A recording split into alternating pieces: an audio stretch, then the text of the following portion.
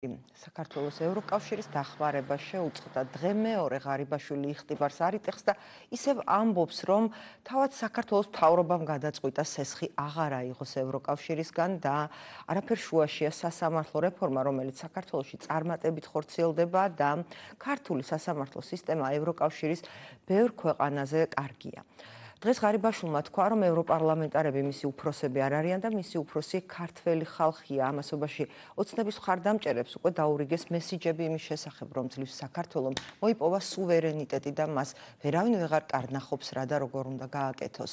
ამ ტალღაზე რას ნიშნავს ქართული ოცნების ნაბიჯები და საერთოდ რას ნიშნავს ასეთი მესიჯ ბოქსი ნიშნავს თუ არა იმას, რომ საქართველოს უკვე საბოლოოდ უხვევს დასავლეთის გზიდან და რჩება ერთადერთი მოკავშირე სამომავლოდ, რომელიც რომელმაც დღეს საქართველოს კეთილმეზობლური და მეგობრული ურთიერთობის აღდგენა შესთავაზა ეს არის რუსეთი.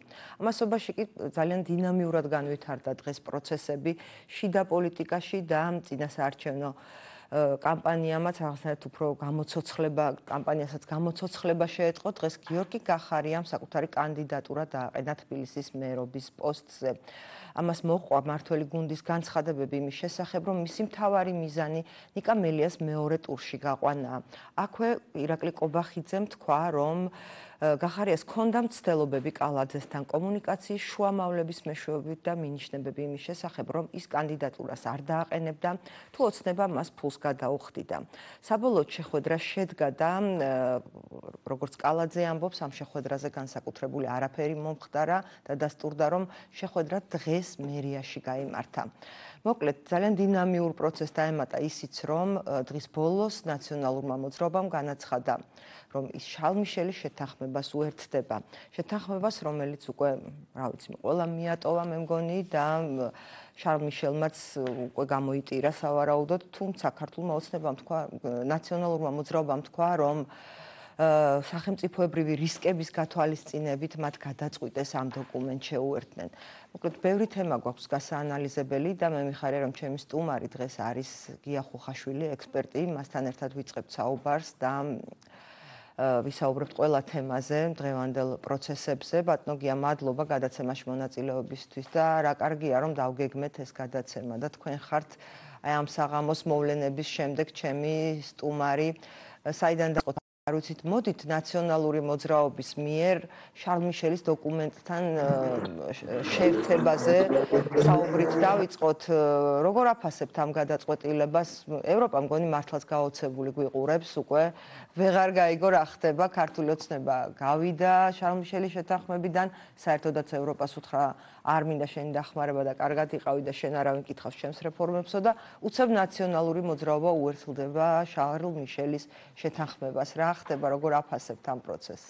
ну პოზიტიურად ვაფასებ უდავოდ რატომ? იმიტომ რომ იგივე ქართული ოცნების განაცხადი ხო ეს უპრეცედენტო მე მგონი მსოფლიო ისტორიაში ამ შეთანხმებიდან გასვლასთან დაკავშირებით ძალიან ესე რომ თქვა სკანდალურია ვბილოთ რომ თქვა ხო? საერთოდ სახელშეკრულებო სამართალში ესე უპირობოდ გასვლა ეს თირამი არ ხდება. შესაბამისად დასავლეთი ჯერჯერობით ესე რომ ვთქვა არ რეაგირებს მწვავედ იმ მარტივი მიზეზის გამო რომ თვითონ ფაქტი ხელშეკრულების ამ მუხლის დარღვევის არ დამდგარა. აქედან გამომდინარე ჩვენ ახლა ვართ პროცესში ხო ვიმყოფებით პროცესში. მე ვფიქრობ რომ განსაკუთრებით იმ კონტექსში და იმ სკანდალური რიტორიკის ფონზე რასაც ვისმენთ ჩვენ ბოლო დღეებში ქართული ოცნების მხრიდან დასავლეთთან მიმართებაში ნაციონალური მოძრაობის ეს ნაბიჯი არის დემონსტრირება დემონსტრირება თუნდაც ჩვენი ორიენტაციის ერთგულების ერთის მხრივ და მეორეს მხრივ იმის დემონსტრირება რომ ისინი იბრძოლებენ იმისათვის რომ ქართულმა ოცნებამ პირობა შეასრულოს ხო? ეხლა რა თქვია გავიდა ხო?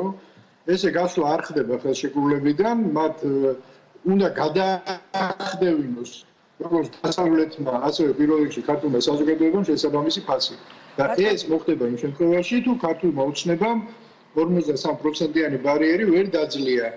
რისი პირდაპირ საფუძველიც გაჩნდა დღევანდელი თბილისის ბატონია, ვიც ამ ანალიზს თქვენ აკეთებთ ხშირად და გვისაუბრია ამაზე ამ გადაცემაში, თუმცა მას შემდეგ ბევრი რამ შეიცვალა. და იმის მოლოდინი რომ აი გეტყვით რა შეიცვალა იმის მოლოდინი რომ ვინმე რამეს მოთხოვს ქართულ ოცნებას შემოდგომაზე ვინმე რამეს აიძულებს როგორ შეიძლება გქონდეს როცა ქართულმა ოცნებამ იცოდა რომ დახმარებას ვერ მიიღებდა თუ ის სასამართლო რეფორმას არ გაატარებდა და იმდენად არ უნდოდა სასამართლოს დათმობა და არ აპირებს სასამართლოს დათმობას რომ არ გაუწია ამ ყველაფერს ანგარიში და საბოლოოდ მიიღო სანქცია. რეალურად ჩვენ დასანქცირებულები ვართ დღეს ევროკავშირის მხრიდან. ჩვენ არა მე გეტყვით როგორც მოხდება ეს შეგვიწყვიტეს და უკაცრავად გავაგზელებ კიდევ ევროკავშირის წარმომადგენელმა გუშინ თქვა რომ ამის მერე იქნება დაკვირვება საქართველოსზე და ყველა შემდგომი ურთიერთობა რაც იქნება არ ვიცი ეს დახმარება იქნება თუ რამე პროექტებში მონაწილეობა თუ რაიმე ხელშეკრულებებზე ხელმოწერა სავარაუდოდ იქნება პირობიანი, ანუ პირობის გარეშე არაფერი აღარ იქნება. ქართულ ოცნებას არ უნდა ამ პირობების შესრულება, ხო? და რა აზრი აქვს, რა ბერკეტი რჩება ევროკავშირის? რა ბერკეტი რჩება რომ ქართულ ოცნებას რამე მოთხოვოს? ბერკეტი რაც ქონდა დახმარება და შეწყვეტა ქართულმა ოცნებამ არ ჩააგდო არაფრად და გააგრძელა ისე როგორც უნდოდა, ხო? რაღა ბერკეტი რჩება? როგორც ხდება, ხო? ეხლა ჩვენ ჩვენ დიცურაჩი შევხედოთ. ჩვენ მარტო ან დასავლ დასავლეთის იმედზე დავრჩეთ და ამაზე ვილაპარაკოთ არც ეს არის სწორი. მარტო ქართულ საზოგადოებაზე ვითრის ვისაუბროთ არც ეს და არც პოლიტიკურ ოპოზიციაზე ხო? მაგრამ ნუ ნახეთ ეხა რა მოცემულობა შეიკრება. თუ ქართულმა ოცნებამ ვერ მოახერხა 40%-მდე მისვლა ანუ მოხდა მისი დელეგიტიმაცია ფაქტობრივად ხო? იმიტომ რომ თუ შენ არა გაქვს ხალხში მხარდაჭერა, მე ვეღარ ილაპარაკებენ ხო იმაზე, რომ მიტინგზე ხალხი არა თავების თავს ვეღარ დაიწყებენ. ანუ არჩევნებზე ხალხი ეთქვის, რომ შენ აღარ მიდიხარ. ესე გამოვა. ეს არის ხალხის აზრი. მეორეა პოლიტიკური ელიტა კონსოლიდირებული მთლიანად, იგივე მოთხოვნით და მესამე დასავლეთის ზეწოლა. ხო, ანუ ჩვენ საქმე გვექნება მოცემულობას და როდესაც მოხდება ხელისუფლება სტერილულ ხელისუფლებაზე სისტემური შეტევა ყველაფერზე. ეხა კი ბატონო შეიძლება რომელიმე ერთზე ეს ხელარებით ილაპარაკოს მაგრამ ეხა ბოლო-ბოლო ვისთან გვაქვს საქმე ხო? ორ გაუგებარ ირაკლისთან მეტი ხო არაფერთან. არა სინამდვილეში ჩვენ საქმე გვაქვს ბიძინა ივანიშვილთან ბატონო ნუ რა კი ბატონო ბიძინაც ეს ადამიანია რა გონია ეხა ჩვენ რა ეხა მართლა ის ის კი არა ჯადუქარი ხო არ არის რა კაცო? ეხა წარმოიდგინეთ ხო დასავლეთი ეთქვის არას პოლიტიკური ელიტა ეთქვის არას და რაც თავარია ხალხი ეთქვის არას აღარ მინდიხარ რა. და მაინც მაინც ჯიუტად გააგრძელ ვერ იქნება ესე ხო? იმიტომ რომ ბათ გარდა ამ პრობლემებისა კაცო პოლიტიკური პრობლემები ხო არა აქვს მარტო. აქეთ პანდემიაა იქით ეკონომიკა დუხსო კი იძახია მაგრამ ეხა ხალხი შეა და წყურია რა. და ეს შეა წყურვალი ხალხი ეუბნება რომ წადი.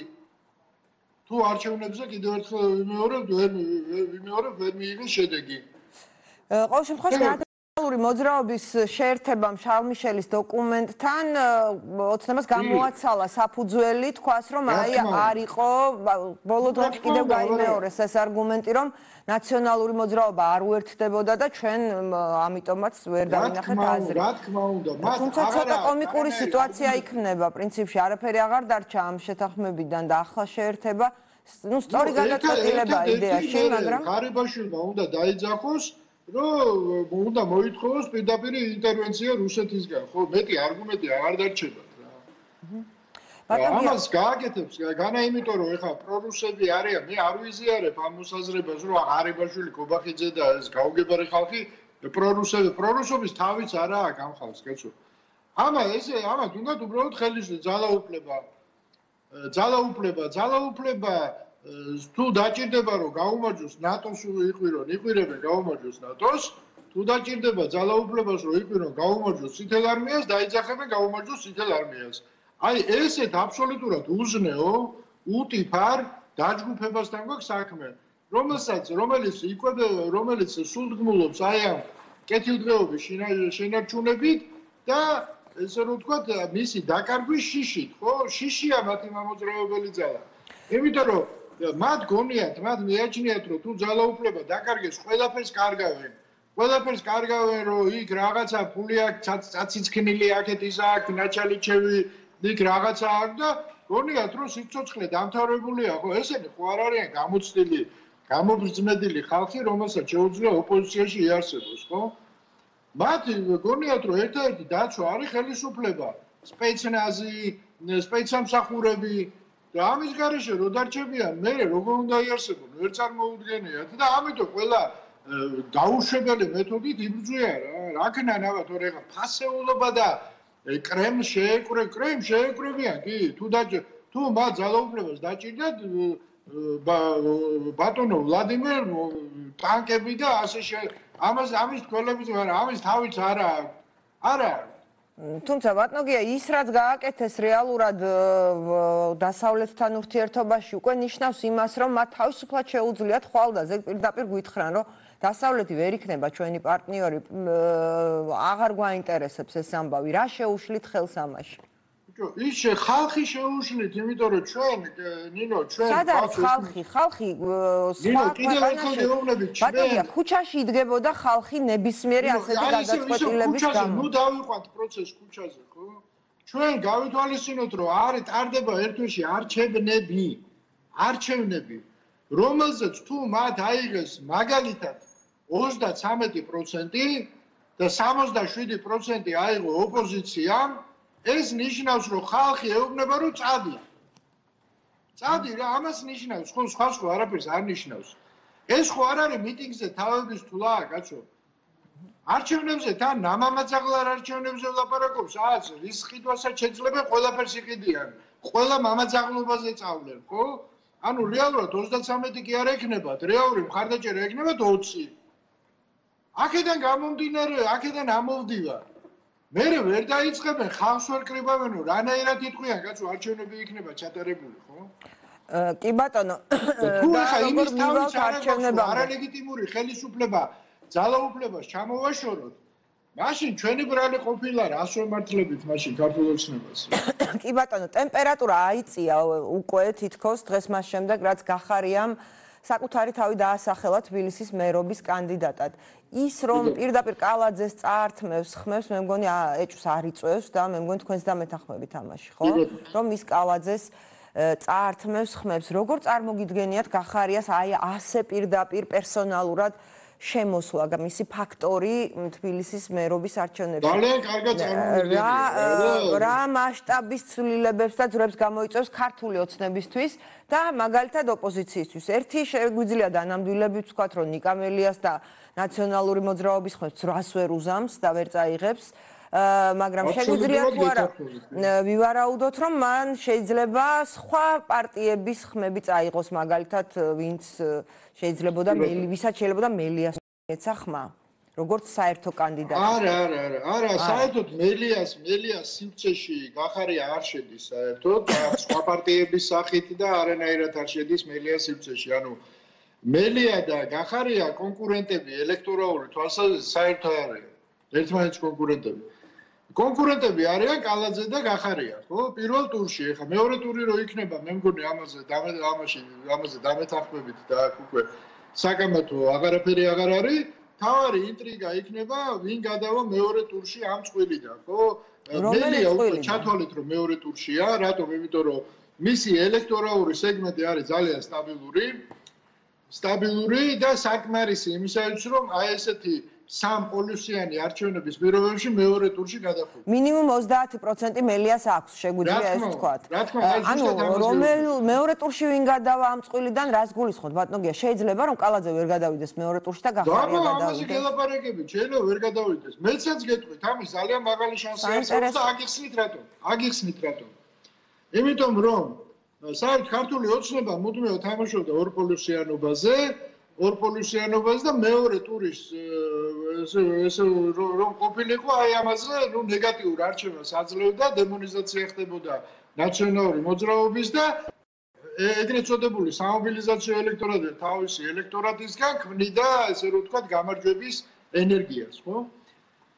ბოლო კვლევებით ეხა მე არ დაგი კონკრეტულად მაგრამ ბოლო კვლევით სააც უკვე სხვა სხვა ჭრილები გაკეთდა ხო კლევის რომელი რომელი კანდიდატის ამორჩეველი უბრალოდ რომელი პარტიის ამორჩეველი საით იხრება რომელი ლიდერისგან ბოლო კვლევით ქართული ოცნების ამომრჩეველში, ანუ პოტენციურ ამომრჩევ, არა მხოლოდ ექსკლუზიურ ამომრჩეველში, არამედ იმ ამომრჩეველშიც, რომელიც ორპოლუსიანობის შემთხვევაში საბოლოო ჯამში ცუცა და უარეშორის ისევ ქართული ოცნების სამობილიზაციო ელექტორატად ითვლებოდა, გახარია ქართული ოცნების ელექტორატში მოკლედ რო გითხრათ, მიმღებლობის თვალსაზრისით კალაძეს უსწრებს.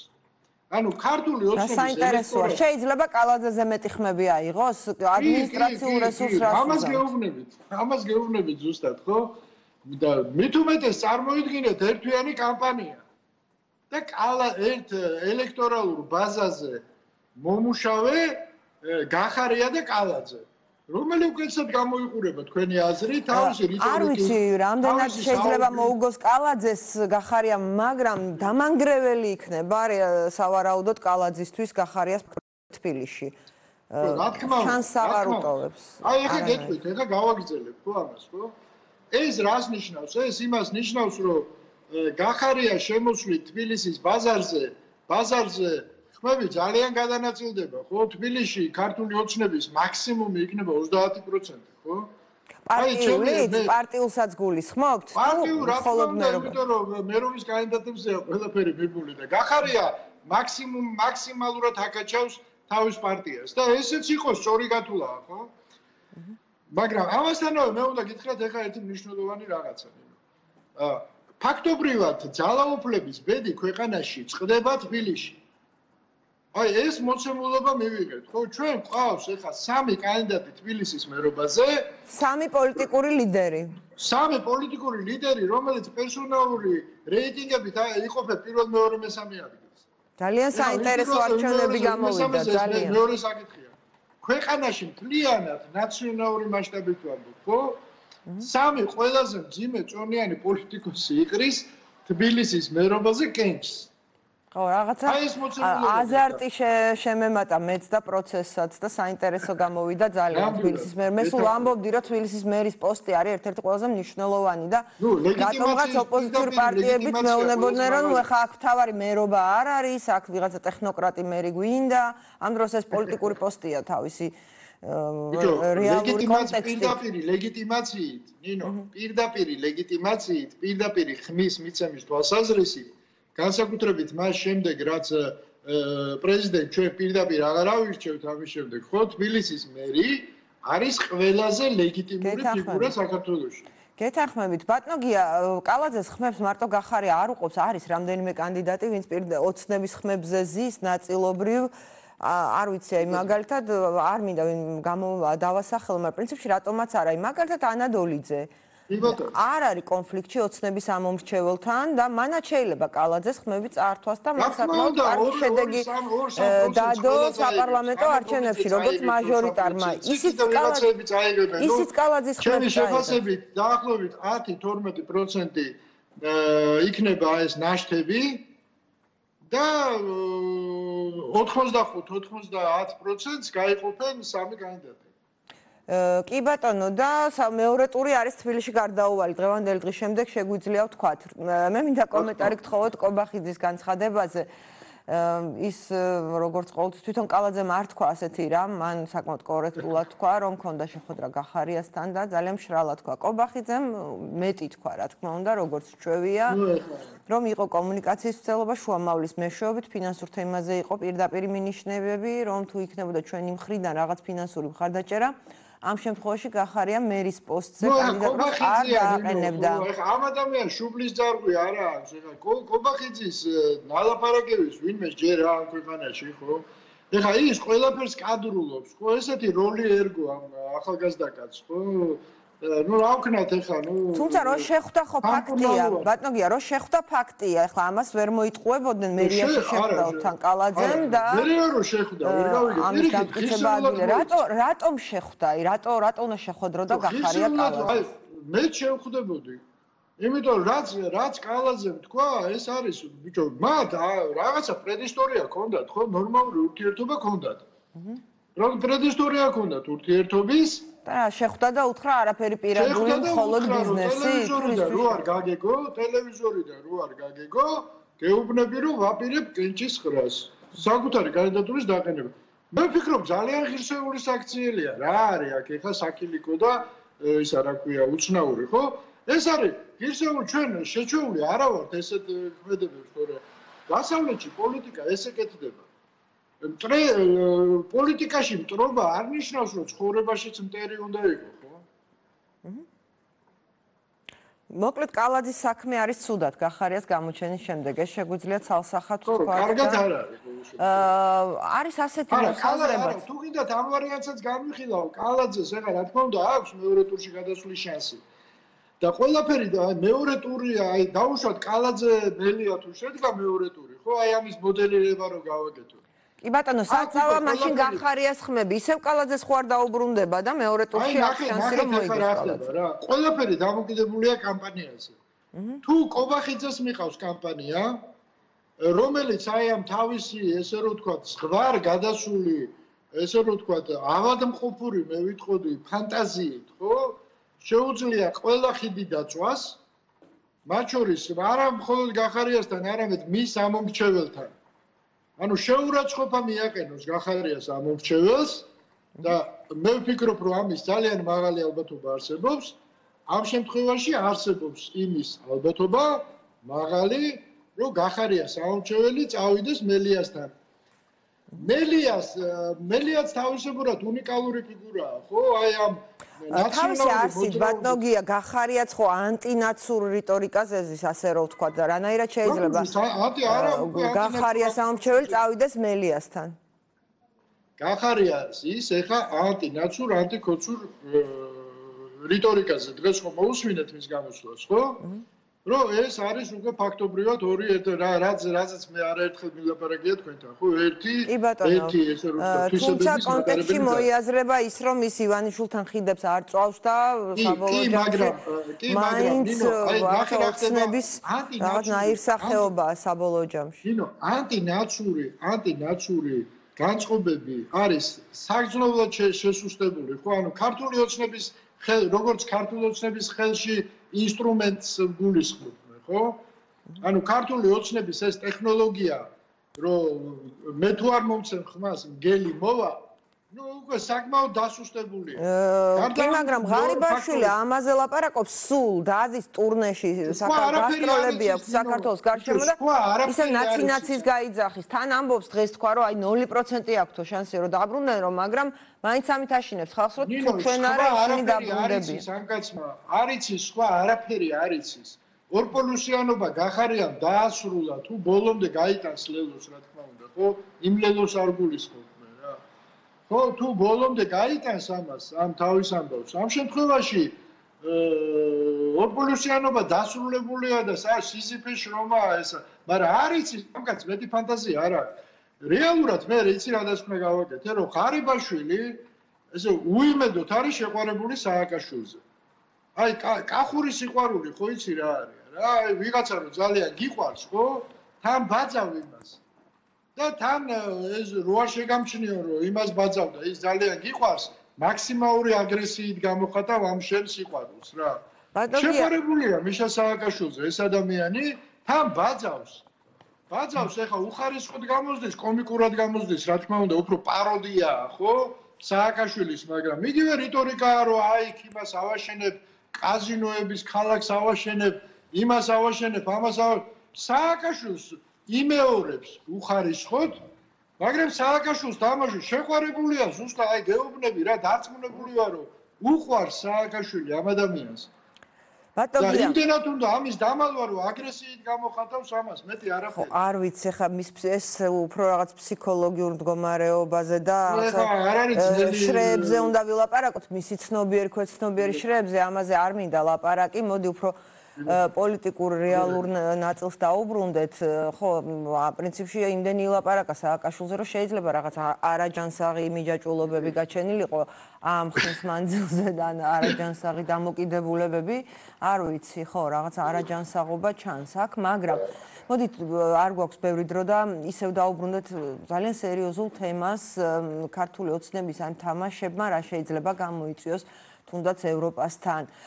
ქართულმა ოცნებამ იცოდა ძალიან კარგად და ყველამ ვიცოდით, რომ სექტემბრის ბოლოს ის ევროკავშირი გვეტყოდა, რომ თქვენ ვერ მიიღებთ 75 მილიონ ევროს ტრანსი, იმიტომ რომ თქვენ არ შეასრულეთ ვალდებულებები, კონკრეტულად თქვენ არ გაატარეთ სასამართლო რეფორმა 20-20 წლის ხელშეკრულების გათვალისწინებული და ასევე შალმიშელის შეთანხმების პუნქტები და ევროკავშირი გვეტყოდა უარს. თუმცა ოცნებამ ეშმაკურად, იეშმაკა დაასწრო და თვითონ თქვა, რომ აი მე უარს ვამბობ ამ დახმარებაზე და ეს არ არის მხოლოდ იმით არ შემოიფარგლა, რომ აი ჩვენ ფული არ გვჭირდება, გვაქვს ბიუჯეტში, ჯერ ნუ ეს წარმოუდგენელი რამეა, რა გვაქვს, ხალხი გვეხოცება უწამლოდ და ვაქცინების პრობლემა გვაქვს და მოკლედ ეკონომიკა თავზე გვექცევა, მაგრამ ამას რო თავი გავანებოთ უკვე ღარიბაშვილი ძალიან იხტიბარს არიწეხს და სულ ღმად და ღმად ტოპავს, აი უტევს მოკლედ დასავლურ პარტნიორებს და არეპუება და ნუ მოკლედ რაღაცებს ეუბნება ისეთ უკმეხად. რამ გამოიწვია ოცნების, აი ესეთი გათამამება ოცნების რა ბიძინა ივანიშვილი რა თამაშ თამაშობს ახლა? ნუ მე ვფიქრობ ძალიან მარტივად არის საქმე ნინო რა. ისინი ეხა მათი მათ აქვთ ეხა ერთ-ერთი ამოცანა, შიგა პოლიტიკური, რომ ძალაუფლება შეინარჩუნონ. ისინი ამ რიტორიკით, ამ იმით, რომ აი და ანულირებით, გასვლით, გამოსვლით, ხო? ცდილობენ რომ ისევ დანერგო ნიჰილიზმი საზოგადოებაში, რომ ეს არჩევნები არაფერს არ წყვეტს. ამ ნიჰილიზმის ტალღაზე იყიდონ არჩევნები, ანუ მიიღონ ლეგიტიმაცია, აიღონ ის გადალახონ 53%. და მე როგორ აღადგენენ დასავლეთთან ურთიერთობას? არაფერი მე ეთქვიან, კაცო.